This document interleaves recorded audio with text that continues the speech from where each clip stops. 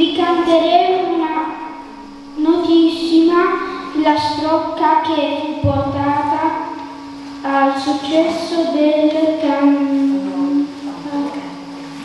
cantautore Angelo Banguardi alla fine degli anni 70.